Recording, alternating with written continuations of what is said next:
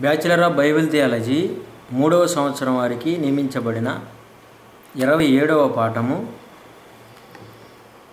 మనకు కొత్త పుస్తకాల్లో ఏడవ పాఠము కైసరువి కైసరుకి దేవునివి దేవునికి.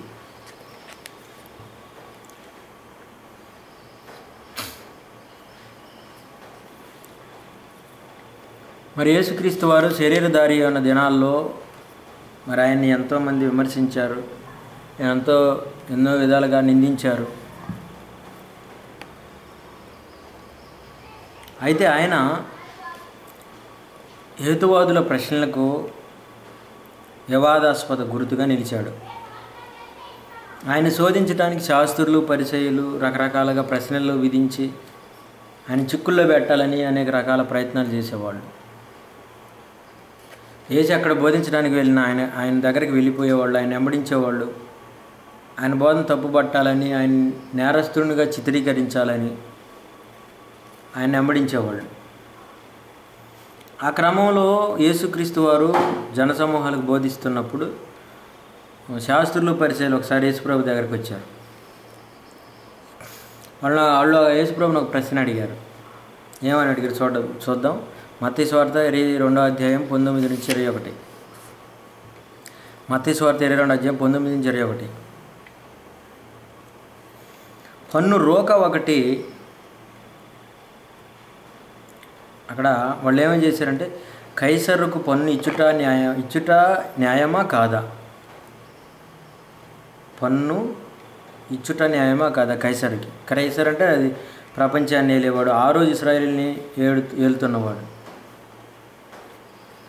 మరి కైసరుకు పన్ను ఇవ్వటమా న్యాయమా కాదా అని ఆయన అడిగినప్పుడు ఆయన ఏమంటున్నాడంటే వాళ్ళ కుయుక్తిని గురితెరిగి ఆయన అంటున్నాడు మత్స్వర్ ఇరవై రెండు అధ్యాయం పంతొమ్మిది నుంచి ఇరవై ఒకటి. పన్ను రోక ఒకటి నాకు చూపుడని వారితో చెప్పగా వారు ఆయన ఎద్దుకు ఒక దేనారము తెచ్చిరి. అప్పుడు ఆయన ఈ రూపమును పైవ్రాత ఎవరివైన వారు నడుకు వారు కైసరు అని ఎందుకు ఆయన అలాగైతే కైసరువి కైసరునకును దేవునివి దేవునికి చెల్లించుడని వారితో చెప్పాను. వారి మాట విని ఆశ్చర్యపడి ఆయనను విడిచి వెళ్ళిపోయిరి. రోమా సామ్రాజ్యాన్ని పరిపాలిస్తున్నటువంటి సీజర్ చక్రవర్తులు ప్రజల నుండి పనులు వసూలు చేసేవాళ్ళు. మనకు కూడా అంతే. మన దేశాల్లో కూడా పన్నులు కట్ కట్టించుకోవటం ఇప్పటికీ ఉందంటే అది రాజులు చక్రవర్తులు చేసే పని. ఇలా చేసేటప్పుడు పరిశైలు యేసుక్రీస్తు దగ్గరకు వచ్చారు. కైసరికి పని ఇయ్యొచ్చా ఇవ్వకూడదా అని చెప్పేశారు. అప్పుడు యేసుప్రభు కైసరు కైసరికి ఇచ్చేసేయండి.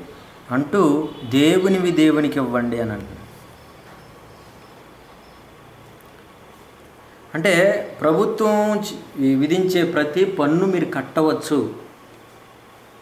అంటే వీళ్ళేమైనా కట్టకుండా ఉండమని చెబుతాడేమో అప్పుడు నేరం వేద్దాం క్రైస్తవుడు చట్టాలకు ఎదుర విరోధంగా నడుస్తున్నాడు ఈయన. అని క్రీస్తుని క్రైస్తవుల్ని ఇరికించుకోవాలని చాలామంది ఆలోచనలు చేస్తుంటారు. అందుకే యేసుప్రభు అన్నాడంటే పన్ను కట్టేసేయండి అన్నాడు. ఎవరికి పన్ను? వాళ్ళకి పన్ను ఇవ్వ ఇచ్చేసేయండి అన్నాడు. ఈరోజు మనకి అనేకమైన పన్నులు ఉంటాయి జిఎస్టీ పేరుతో కొత్త పన్ను వచ్చింది.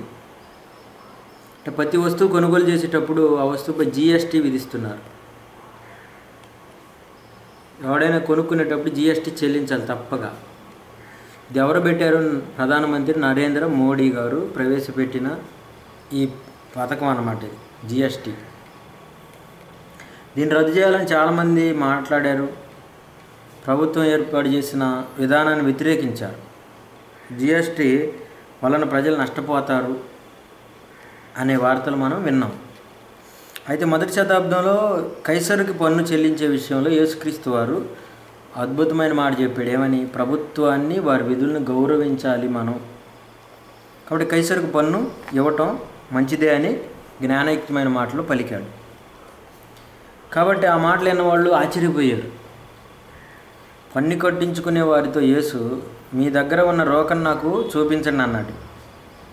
దాని మీద రూపం ఎవరివని అడిగాడు. వారు కైసరు అన్నారు. అప్పుడు కైసరువి కైసరికి ఇవ్వండి అని చెబుతూ దేవునివి దేవునికి కూడా చెల్లించండి అన్నాడు. వాళ్ళు ఆశ్చర్యపోయారు దేనికి అంటే వస్తువులు కొనటానికి అమ్మటానికి కైసుర రూపం ఉన్న రోకలు ఇచ్చి క్రయ విక్రయాలు చే చేసేవాళ్ళు.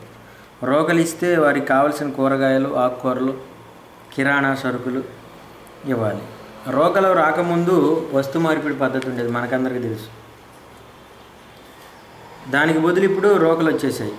అంటే అప్పుడు వస్తు మార్పిడి అంటే ఏంది ఒక ఒక ఒక ప్రాంతంలో పడిన కూరగాయలను తీసుకెళ్ళి మరొక ప్రాంతంలో పడినటువంటి కూరగాయలు తెచ్చుకునేవాళ్ళు. అంటే వంకాయలు ఇచ్చి బెండకాయలు తెచ్చుకోవటం బంగాళదుంపలు ఇచ్చి మరొక వస్తువులు తెచ్చుకోవటం ఇలా వస్తు మార్పిడి చేసుకునేవారు. నాణ్యాలు ముద్రించిన తర్వాత రకరకాల నాణ్యాలు వచ్చేసాయి మనకి. వంద రూపాయలు ఐదు వందల నోట్లు ఇట్లా వచ్చిన తర్వాత ఏమైందంటే ఇంక వాటినిచ్చి వాటి యొక్క వాటి యొక్క ధర అంతా మరొక వస్తువులను మనం తీసుకోవటం అనేది ఈ ప్రపంచవ్యాప్తంగా చక్రవర్తుల కాలంలోనే ఈ నాణ్యాలపైన బొమ్మలు చక్రవర్తుల బొమ్మలు ముద్రించారు. అసలు యేసుక్రీస్తు వారికి వాళ్ళు చూపిన బొమ్మ కైసర బొమ్మ. కాబట్టి నాణ్యాలన్నీ కైసరికి చెందుతున్నాయి కాబట్టి కైసరు కైసరికే ఇచ్చేయండి అన్నాడు. అంటూ అయితే దేవునివి దేవునికి ఇవ్వండి అన్నాడు. అంటే పరిశైలు అడిగిన ప్రశ్నకు దేవునికి కూడా ఇవ్వాలని యుక్తిగా సమాధానం చెప్తున్నాడు యేసుప్రభు. వాళ్ళు కుయుక్తిగా అడిగారు యేసుప్రభు యుక్తిగా సమాధానం చెప్పాడు. ఎవరు? ఏవి? కైసరువి? నాణ్యములు కైసరువి. ప్రజలు ప్రభుత్వం యొక్క సర్వీసులను ఉపయోగించుకుంటున్నారు. అవి ఎలా అంటే మనకు తెలుసు. ఉదాహరణ కరెంటు వాటరు గవర్నమెంట్లో ఇల్లు రోడ్ల రోడ్డు నిర్మాణాలు వీటన్నిటిని ప్రజలు వినియోగించుకుంటున్నారు కాబట్టి వినియోగదారులు ఎవరైనా దానికి సరిపడే పన్ను చెల్లించటం న్యాయమే. యేసువారికి చక్కటి సమాధానం తెలి తెలివిగా చెప్పేశాడు.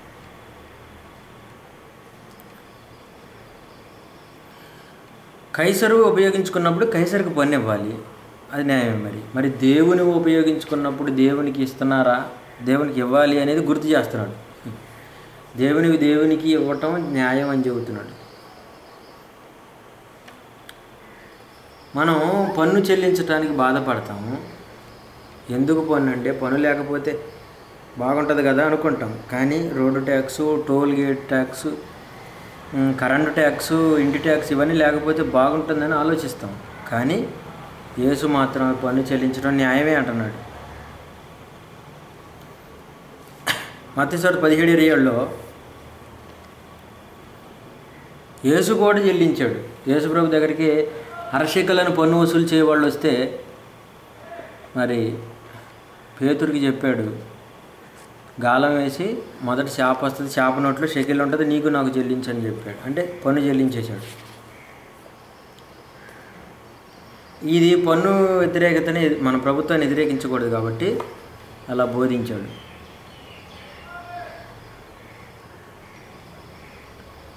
అంటే బైబిలులో యేసుప్రభు చెబుతుంది ఏంటంటే ప్రభుత్వానికి లోబడి ఉండాలి పన్ను చెల్లించాలి. ప్రజాప్రతినిధులు ప్రజలకు సేవలు అందిస్తుంటారు కాబట్టి వారికి పన్ను చెల్లించడం న్యాయమని చెప్పాడు. అలాగే ఏమన్నాడు? దేవునివి దేవునికి చెల్లించండి అన్నాడు.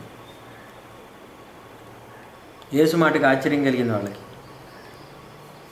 యేసుప్రభుని విడిచి వెళ్ళిపోయారు. ఆశ్చర్య వాళ్ళు అందులో ఆశ్చర్యపడాల్సింది ఏముంది అనేది మనం ఆలోచిద్దాం. పరిశీలిస్తే దేవునికి చెల్లించండి దేవుని అని అంటున్నాడు.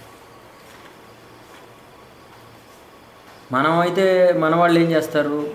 దేవునికి స్తోత్రం చెల్లిద్దాం అంటారు. పాట పాడతారు. కానీ దేవునివి దేవునికి చెల్లించడం అసలు దే ఏవి దేవునివి అని మనం ఒకసారి ఆలోచించాలి. ఎలా? ఎలా చెల్లించాలి?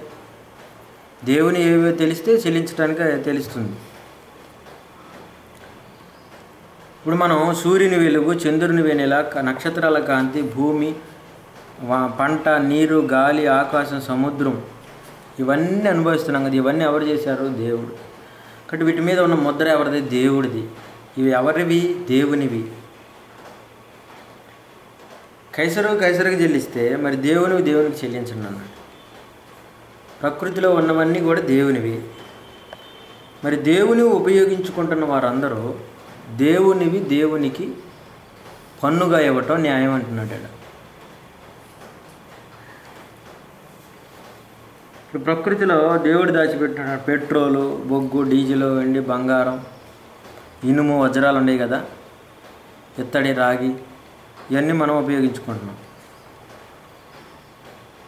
ఫ్యాను కుర్చీలు tables TV radio cell phone electronic device ఇవన్నీ ప్రకృతిలో నుండి వచ్చిన ప్రతి వస్తువు ఇది. ఇది దేవుడు చేసిన ప్రకృతి నుండి వచ్చింది కాబట్టి వీటిని దేవునికి వాడాలి. దేవునికి దేవుని చెల్లించండి అంటే మన ఇంటి నిర్మాణంలో ఇసుక ఐరన్ ఇటుకలు నీరు దేవునివి. ఇంటి లోపల ఉపయోగించుకున్న వస్తువులు దేవునివి. అవన్నీ దేవునికి ఉపయోగించాలి అని అర్థం. ఇల్లు కట్టుకునే మనం ఆ ఇంట్లో దేవుని కొరకు పాఠశాల ఏర్పాటు చేయాలి. అందులో దేవుని పాఠాలు బోధించబడాలి. అనేకులు దేవుని జ్ఞానం నేర్చుకునే దైవ జ్ఞాన కేంద్రంగా మన ఇల్లు ఉండాలి. ఎందుకంటే ఇల్లు లో నుండి వచ్చిన ప్రతి వస్తువు దేవునిదే. ఇటుక ఇసుక ఐరన్ కాంక్రీట్ మొత్తం. మరి టీవీ మనం కొంటున్నాం. మరి టీవీని కొన్నప్పుడు అందులో ఉన్న సినిమాలు సీరియల్స్ చూడటం కాదు కానీ దేవుని ప్రసంగాలు టీవీలలో ప్రసారం చేస్తే దేవునివి దేవునికి ఉపయోగపడతాయి. ఒక బండి కొన్నాం ఆటో కొన్నాం అనుకోండి ఫ్యాన్ కొన్నా లేకపోతే టీవీ కొన్నా కుర్చీలు కొన్నా యాంప్లిఫైర్ కొన్నా సౌండ్ సిస్టమ్ కొన్నా ప్రొజెక్టర్ కొన్నా ఏది కొన్నా ఏది కొన్నా కూడా. వాటి మీద దేవునివి దేవునికి అని రాసుకోవాలి మనం. అప్పుడే దేవునివి దేవునికి చెల్లించినట్లు. మన వస్తువులు దేవుని పని కోసం అడిగితే ఖచ్చితంగా ఇవ్వాలి. కానీ కొందరు ఏం చేస్తారంటే తమ ఇంట్లోని వస్తువులు దేవునికి ఉపయోగించరు కానీ దేవుని పని కోసం కొన్న వస్తువుల్ని తమ అవసరాలకు వాడుకుంటూ ఉంటారు. దేవుని పని కొరకు కోసం ఉపయోగించవలసిన వస్తువులు మన అవసరాలకు వినియోగిస్తుంది అన్యాయం. మొదటి శతాబ్దంలో ఇస్రాయేలు దేవునికి ఏమి ఇచ్చారో మనం జాగ్రత్తగా చూద్దాం. కాబట్టి ప్రియమైన వారలరా మత్తయి వార్త ఇరవై మూడు అధ్యాయం ముప్పై మూడు వచ్చాం. ఇరవై మూడు అధ్యాయం ఇరవై మూడు వచ్చాం. అయ్యో వేషధారులైన శాస్త్రులారా పరిసయ్యులారా మరి మీరు పుదీనాలోను సోపులోను జీలకర్రలోను పదే వంతు చెల్లిస్తున్నారు. అంటే వీళ్ళు దేవునికి ఎలా చెల్లిస్తున్నారు? అంటే పదే వంతు అది కూడా. ఏటిలో చెల్లిస్తున్నారు? పుదీనా సోపు జీలకర్ర. ఇవి చాలా సీపు అన్నమాట. సీపు వస్తువుల్ని దేవునికి చెల్లిస్తున్నారు. మనుషులు ఇరు క్రైస్తవులు కూడా అంతే. ఏ తక్కువదో దాన్ని చెల్లిస్తుంటారు. కానీ బంగారంలో పదే వంతు ఇస్తారా? బెండిలో పదే వంతు ఇవ్వగలరా? లేరు ఇవ్వలేరు. ఎందుకంటే ఎక్కువ ధర కదా. ఎక్కువ ధరతో ఉండేవి కాబట్టి కాస్ట్ కాబట్టి వాటిని దేవునికి ఉపయోగించరు. అందుకే మొదటి స్థానం దేవునికి ఇచ్చినప్పుడే మనం ఇచ్చినవి దేవునికి బాగా ఇష్టంగా ఉంటాయి. మనకి తెలుసు హేబేలు మొదటివాడు మొదటి పుత్ర సంతానం. ఆయన తన మందలో కొవ్విన వాటిని తీసుకొని దేవుడికి ఇచ్చాడు. అంటే హేబేలుకి ఏమో అర్థమైందంటే దేవుడికి ఇచ్చేటప్పుడు మంచివి శ్రేష్టమైనవి దేవునికి ఇవ్వాలి అని మంచి మనసు కలిగి ఉన్నాడు. ఇంకటి ఇది దేవుడిది కాబట్టి దేవుడికి మంచి ఇవ్వటంలో న్యాయం ఉంది అని అని అలాగా ఇచ్చేశాడు. మరి ఈరోజు మన కోసం మన కుటుంబం కోసం బంధువుల కోసం స్నేహితుల కోసం వాళ్ళ కోసం ఎక్కువగా ఏదేదో ఇచ్చేస్తాం.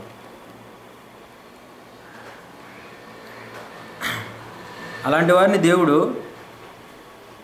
ఏం చెప్తున్నాడంటే దేవునివి దేవునికి చెల్లించండి. మరి ఒక ధర ధనవంతుడు భూమి మీద ఉన్నప్పుడు ఏం చేశాడు? ధనవంతుడు తా దేవుని దేవునికి చెల్లించలేదు. ఒక్కడే సుఖంగా అనుభవించాడు. చివరికి పక్కన ఉన్న లాజర్ను కూడా పట్టించుకోలేదు.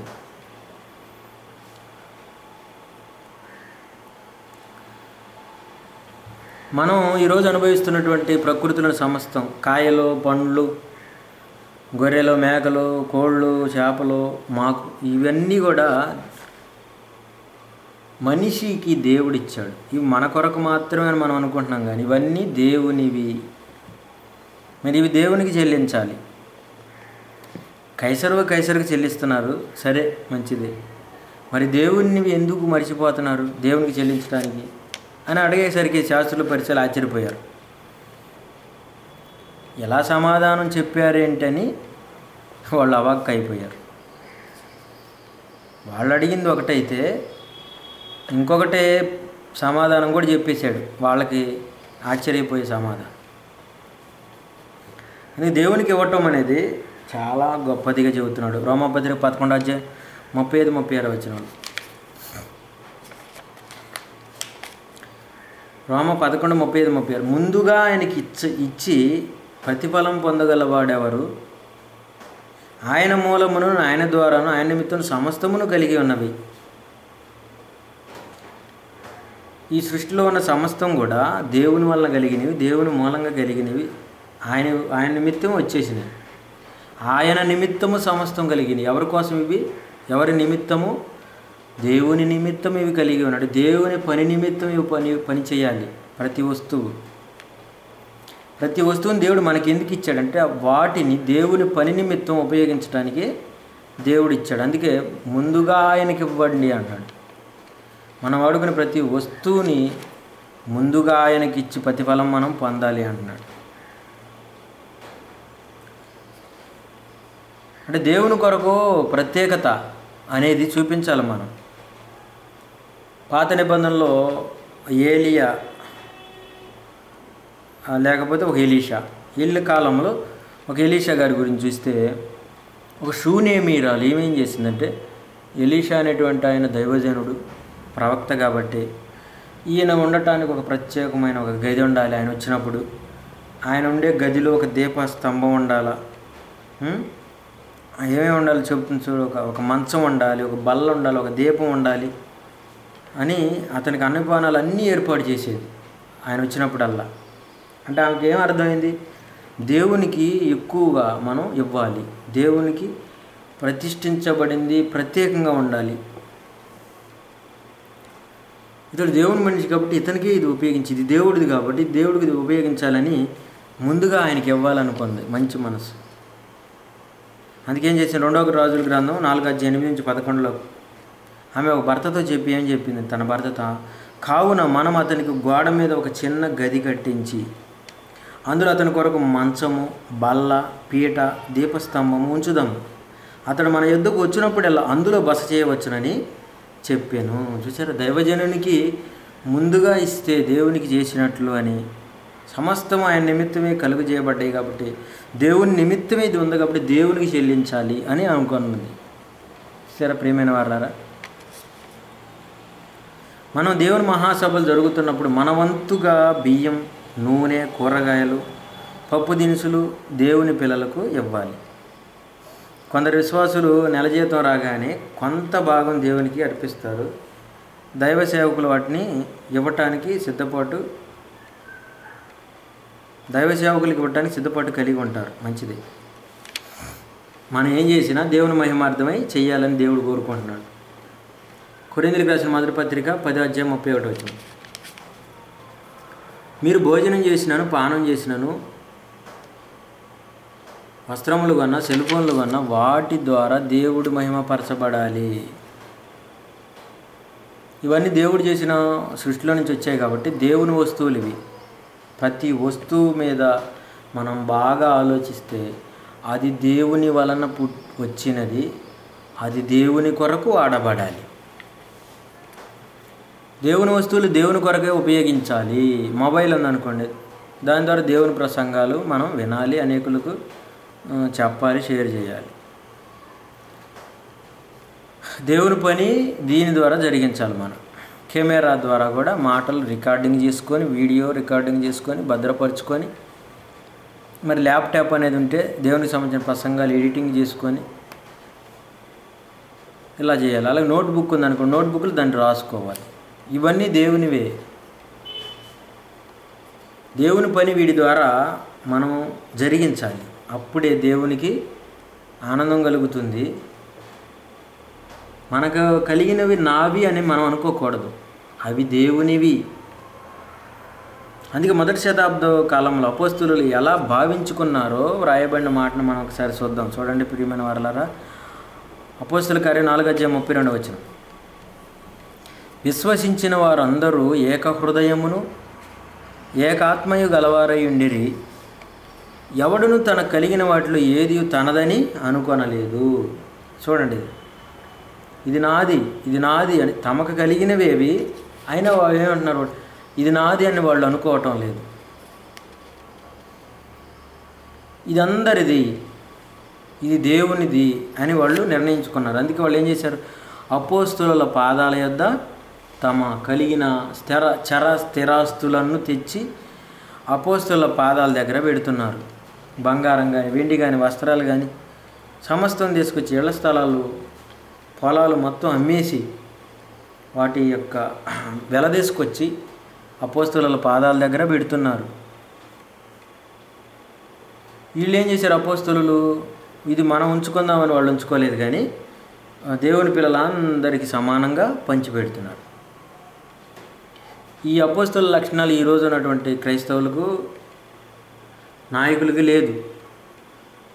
ఇది కలి ఇలా ఉండాలి? ఇలా ఉంటేనే దేవుని మనం దేవునికి ఇచ్చిన వారంగా అయిపోతాం. మొదట దేవునికి ఇవ్వాలి ఆ తర్వాతే మనం వాటిని అవి మనకి కొంత మాత్రమే వాడుకోవాలి అంతే. అందుకే కొరిందికి రాసిన రెండో పత్రిక ఎనిమిది అధ్యాయ ఐదో వచ్చినలో ఇదిగాక వారు మొదట ప్రభువునకును దేవుని చిత్తం వలన మాకును తమ్మును తామే అప్పగించుకోండి. ఎవరు వీళ్ళు? అక్కడ ఉన్నటువంటి కొరింది సంఘము వాళ్ళకి తెలియజేస్తున్నాడు. ఆసియాలోని వారు మొదట మొదట వాళ్ళు ప్రభువుకు దేవుని చిత్తం వలన మాకును కూడా అప్పగించుకున్నారు అన్న. అంటే మా అవసరాలు తీరిన తర్వాత మిగిలిన వాళ్ళు ఉపయోగించుకున్నారు.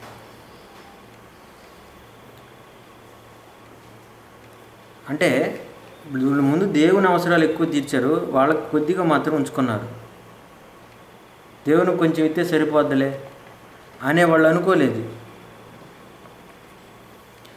దేవుడు ఇవన్నీ కలుగు చేసిన దేవుడే కాబట్టి ఆయనకి ఇది చెందాలి అని పంచిపెట్టేశారు. మన వస్తువులు మన జ్ఞానం మన అవయవాలు ఇవన్నీ కూడా ఆయనకు ఉపయోగించాలి అనేదే వాళ్ళు మనకు నేర్పుతున్న పాఠం మనం నేర్చుకోవాల్సిన పాఠం. కాబట్టి ఈ లోకంలోని ఏది మంద కాదు. ఆ అన్నీ వాటన్నిటిని దేవుడే మనకి ఇచ్చాడు. ఎంత ఆస్తి ఉన్నా వదిలి వెళ్ళిపోవాలి మనం. వెళ్ళిపోయే ముందు దేవునికి ఇచ్చి వెళ్ళిపోవాలి. కైసరవి కైసరికి ఇస్తుండడం ఎంత న్యాయమో? దేవునివి దేవునికి ఇవ్వటం అంతే న్యాయం అన్నమాట. పాత నిబంధనలో దినవృత్తాంతాలు మొదటి దినవృత్తాంతం ఇరవై తొమ్మిది అధ్యాయం పద్నాలుగు పదహారులో పద్నాలుగు పదహారులో మొదటి దిన మొదటి దినవృత్తాంతములు ఇరవై తొమ్మిది అధ్యాయం పద్నాలుగు పదహారులో ఈ ప్రకారము వారు మనఃపూర్వకముగా ఇచ్చు సామర్థ్యము. మాకునుటకు నేను ఎంత మాత్రపు వాడను? నా జనులెంత మాత్రపు వారు? సమస్తమును నీ వల్లనే కలిగాను కదా నీ స్వసంపాద్యములో కొంత మేము నీకు ఇచ్చి ఉన్నాము. అంతయు నీది అయినదని అన్నాడు ఇక్కడ ఎవరు మాట్లాడుతున్నాడు? భక్తుడు దావీదు.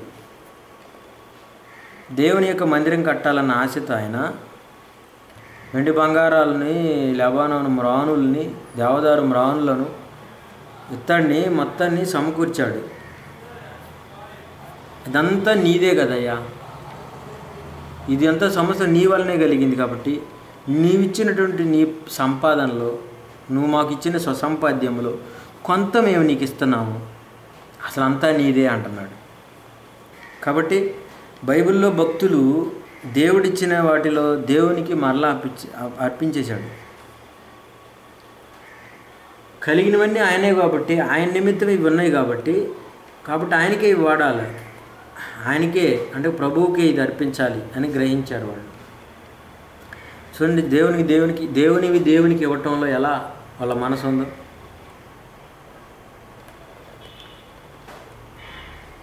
కాబట్టి మనం దేవునికి ఇవ్వటానికి ముందుకు రావాలి. దేవునివి దేవునికి ఇవ్వటానికి ముందుకు రావాలి. మన కష్టం మన శ్రమ మన డబ్బు మనకున్న వాటిలో దేనినైనా సరే దేవునికి ఇచ్చి దేవుని నుండి ప్రతిఫలం పొందాలి. యేసుక్రీస్తు వారు చూపిన బాటలో మనం కూడా నడవాలి. యేసు నెరవేర్చిన ఆజ్ఞల్లో పాలి భాగస్థులంగా మనం కావాలి. కైసరవి కైసరుకు దేవునివి దేవునికి. కైసరువి అనగా ప్రభుత్వానికి. ప్రభుత్వం చేసినవి ప్రభుత్వానికి దేవుడు చేసినవి దేవునికి చెల్లించాలి. ఈ సృష్టి గాడ్స్ సర్వీస్ కనుక ఎవరికి వారు గాడ్స్ సర్వీస్ సర్వీస్ ట్యాక్స్ అనగా జిఎస్టీ చేద్దాం. జిఎస్టీ చెల్లించాలి. గాడ్స్ సర్వీస్ ట్యాక్స్ అన్నమాట ఇది.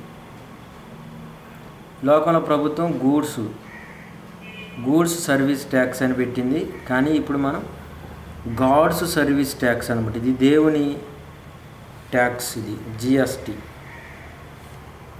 మానవ దేహం దేవుడు ఇచ్చింది కనుక ఈ దేహముతో దేవునిని అందరూ మహిమపరచాలి. అలా చేయని వారు దేవునివి దేవునికి చెల్లించిన వారు ఒక ధనవంతుడు వలె నరకానికి వెళ్ళిపోయి బాధపడతారు వాళ్ళు దేవునికి అవిధేయులైపోతారు. కాబట్టి మనం యేసుక్రీస్తులాగా సజీవ యాగంగా మన శరీరాలను సమర్పించుకోవటమే కాకుండా ఈ శరీరంతో సంపాదించిన సంపద మొత్తాన్ని ఈ శరీరంలో మనకు వచ్చినటువంటి మనవారిని దేవునికి దేవునికి అర్పించుట అనగా దేవుని సేవలో ఉంచుట దేవుని సేవ కొరకు ఉపయోగించుట అనేది దేవునివి దేవునికి చెల్లించుట అని అర్థం